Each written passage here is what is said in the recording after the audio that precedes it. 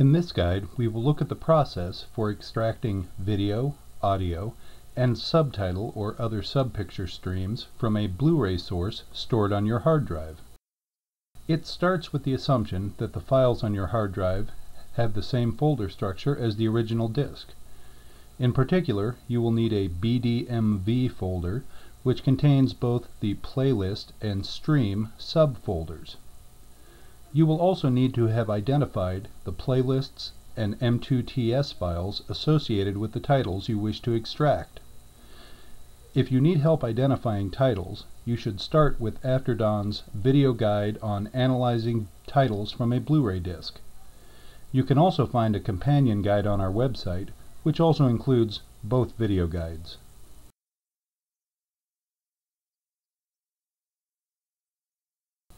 Once you have identified the playlists which correspond to the titles you wish to extract, you can use MeGUI for the job. MeGUI is an entire suite of video and audio tools, one of which is the HD Streams Extractor. Using this tool, we will be able to extract each stream in any given playlist to its own file. In other words, there will be one file for video, one for each audio stream, and another for each subpicture stream. Any streams that you don't wish to extract may be skipped. After starting MeGUI, you will need to open the HD Streams Extractor from the Tools menu. First open the Tools menu and select HD Streams Extractor.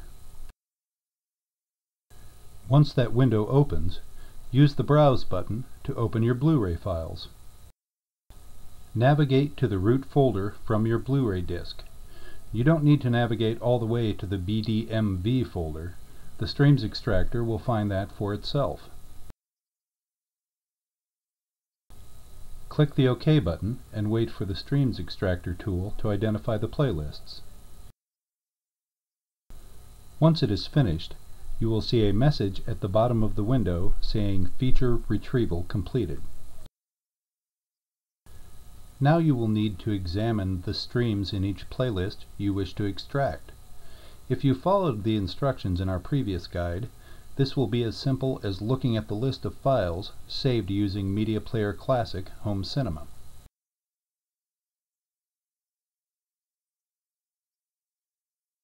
Next, select the first playlist included in your list of titles and wait for the included streams to be detected.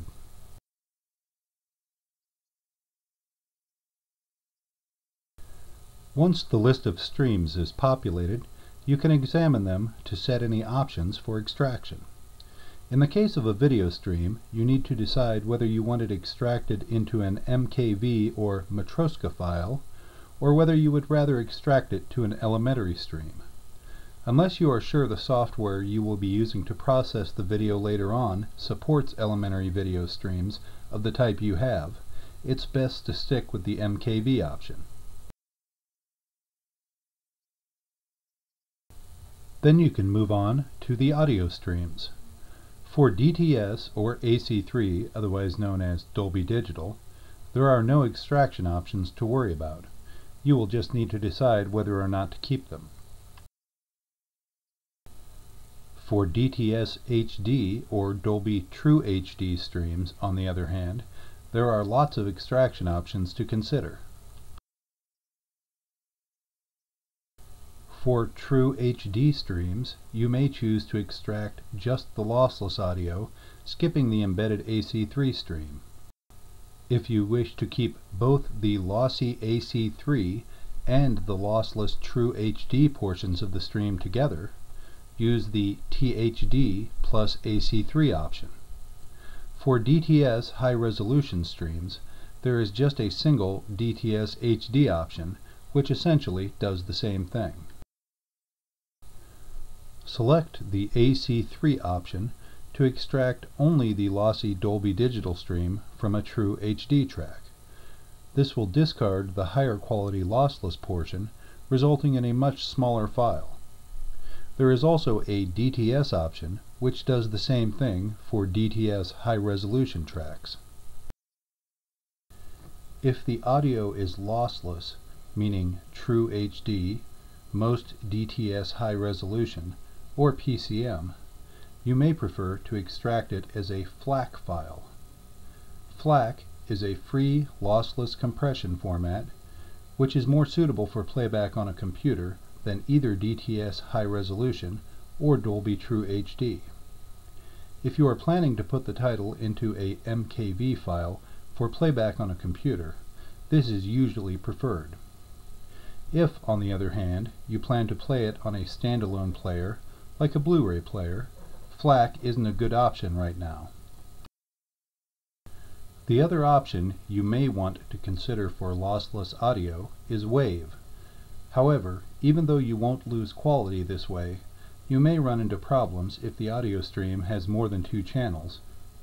As a general rule, WAVE should be avoided unless you need it for compatibility with some program. You will not need to set any options for subtitle extraction. They will be extracted in SUP format automatically. You can control which streams are extracted from a title by using the checkbox to the left of each stream. You may find that the Streams extractor does not list all the playlists you wish to extract. That's because very short titles are ignored. In that case, you will need to extract those titles by M2TS file rather than by playlist. Once again, we can use the informational files from Media Player Classic Home Cinema to help out. Return to the Windows Explorer window and open the text file for the playlist that isn't listed in the Streams extractor. The name of the M2TS file for that title will be listed on the source line. Now return to the Streams Extractor window and switch from folder input to file input mode. Once again, you will use the Browse button,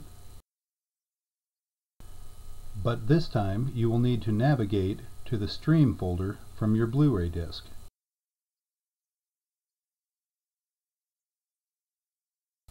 Select the M2TS file you identified and click the Open button. Then you can follow the same procedure as before for selecting streams and setting options. You can close the text file as soon as your M2TS file has been opened. Returning once again to the Streams Extractor window. By default, the HD Streams extractor will close as soon as you create a job to extract the streams from one title. If you need to extract more than one title, you should uncheck the box next to and close so you don't have to repeat the title and stream discovery process multiple times. You can either check it again before adding your last extraction job, or simply close the window with the X button at the top when you are done. The last thing you will need to do before creating your first job is set the destination folder. Navigate to the desired folder